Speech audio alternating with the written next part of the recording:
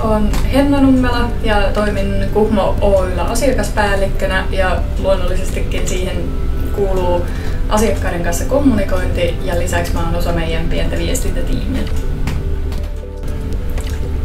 Olen ollut puumiestoiminnassa mukana aika nuoresta, nuoresta lähtien ja sitten lukioaikana päätin osallistua puumiestaitokilpailuihin ja oikeastaan ymmärtämättä moniakaan niistä kysymyksistä, niin siinä viris kuitenkin kiinnostus sitten alaan ja päätin hakea Helsingin yliopistoon lukemaan metsävaratiedettä ja teknologiaa ja valmistuin sieltä metsänhoitajaksi.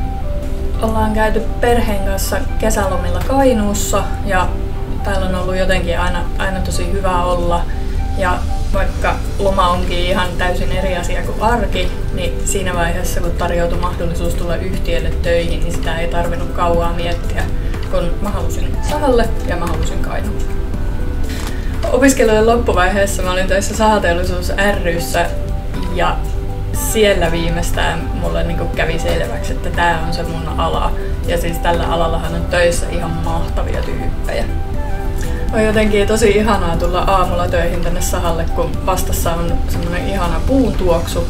Ja sitten kun tietää, että on ne ihan parhaat työkaverit tuolla, joiden kanssa tätä tehdään yhdessä. Elämässä on muutakin kuin työ ja kun tykkää liikkua luonnossa, niin Kuhmossahan on siihen ihan mahtavat puitteet.